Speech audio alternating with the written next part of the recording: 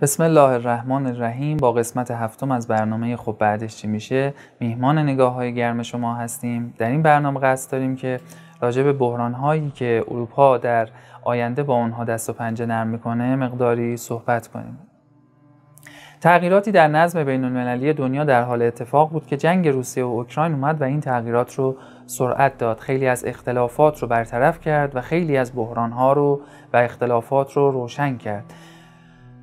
خیلی از کشورها رو همگرا کرد مثلا ایران، چین و روسیه رو و خیلی از کشورها رو که در ظاهر با هم همجهت بودند رو گسلهای بینشون رو فعال کرد. مثلا گسل بین کشورهای اروپایی، کشورهای شرق اروپا و کشورهای غرب اروپا. کشورهای اروپایی و آمریکا رو خود در واقع مردم اروپا و دولتهاشون خیلی از این گسلها و اختلافات رو فعال کرد. آمریکا در داخل کشور خودش بسیار بحرانهای مختلفی داره. از در واقع مشکلات اقتصادی گرفته تا مشکلات اجتماعی. و از اونجایی که آمریکا همیشه تلاش کرده تا مشکلات خودش رو گردن بقیه بندازه تلاش کرد تا با درگیر کردن روسیه در یک جنگی مشکلات خودش رو به اون سمت منتقل بکنه. از در واقع ابزارهای مثل رسانه تو این بحث خیلی هم کمک گرفت. اما روسیه با یک در واقع هوشمندی اومد در مرحله اول. این جنگ رو و بحرانهایی که در پی اون در واقع گریبانگیر روسیه بود رو در مرحله اول کنترل کرد و در مرحله بعد تلاش کرد تا این بحرانها رو در واقع منتقل بکنه به اروپا که یکی از بازوهای آمریکا در این جنگ بودن.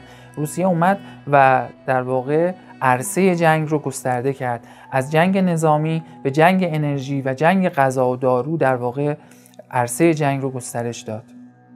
خب اروپا در واقع با اینکه بسیار نیازمند انرژی روسیه بود کشورهایی در اروپا وجود دارن که 100 درصد گازشون رو از از در واقع روسیه وارد می‌کنن.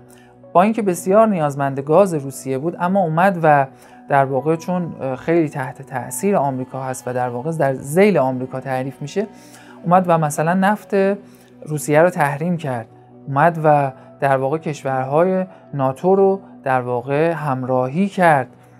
کمک های تسلیحاتی به اوکراین داشت که این خیلی روسیه رو در واقع تحریک کرد که آقا زدی ضربتی ضربتی نوش کن. روسیه هم تلاش کرد تا بحران ها رو انتقال بده و با بستن شیر گازی که از روسیه به اروپا منتقل می‌شد یک در واقع چالش های عجیب و غریب و کم سابقه یا حتی بی سابقه رو در اروپا رقم زد.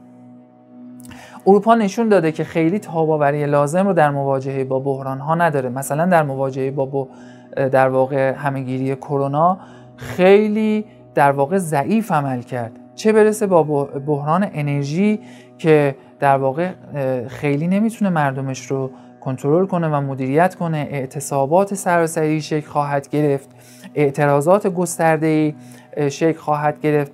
بیکاری که در واقع از پی تعطیلی کارخونه ها شکل می‌گیره اروپا رو با مشکلات گسترده مواجه می‌کنه. که در واقع این بحران ها اروپا رو کشورهای اروپایی رو اگر نتونن کنترل کنن که در واقع شواهد نشون میده که فعلا خیلی نتونستن کنترل کنن. با یک فروپاشی اقتصادی و اجتماعی در آینده مواجه می‌کنه کشورهای اروپایی. اگر نتونن این بحرانی که اتفاق افتاده رو مدیریت بکنن کشورهایی مثل کشور در واقع آلمان فرانسه کشور آلمان 40 درصد گاز خودش رو از روسیه تامین می‌کرده که الان به نصف رسیده. می‌بینید که مردم رو تشویق می‌کنن به استفاده از در واقع حمام نرفتن. مردم به سمت استفاده از هیزم و زغال سنگ و اینها دوباره رفتن. و این در واقع نشانه هایی از اون بحرانی هست که در آینده شکل خواهد گرفت. اروپا اگر نتونه این رو در واقع این بحران رو مدیریت کنه انقلاب هایی یکی پس از دیگری کشورها رو از کشورهای کوچکتر به سمت کشورهای بزرگتر در واقع ما در آینده خواهیم دید که این بحران ها منجر به انقلاب های خواهد شد. اخیرا دیدید تغییراتی در انگلیس اتفاق افتاد. بوریس جانسون کنار رفت و اینها نشونه های از این اتفاق هستش. تجمعاتی که داره شکل می‌گیره نشونه ای از این اتفاقات هست که اروپا بسیار الان مشکل داره. مشکرم از نگاه های گرمتون. خدا نگهدار.